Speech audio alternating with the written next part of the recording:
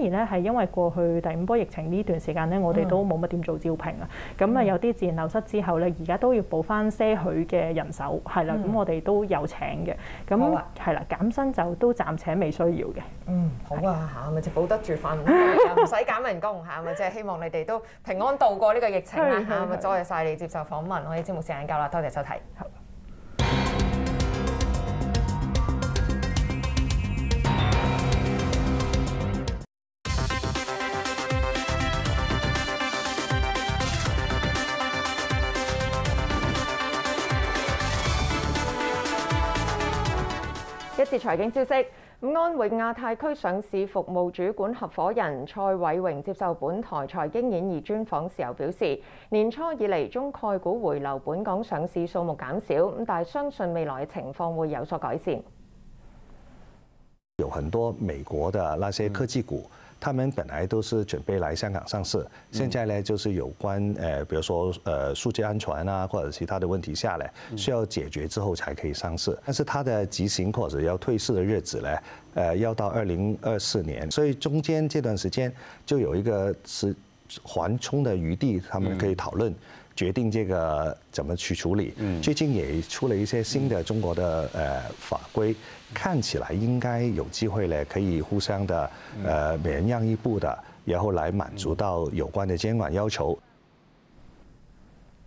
人民币中间价创一年半嘅新低，官方开出嘅人民币中间价最新报六点六三三二对一美元，比对上一个交易日跌六百六十点子，系二零二零年十一月五号以嚟低位。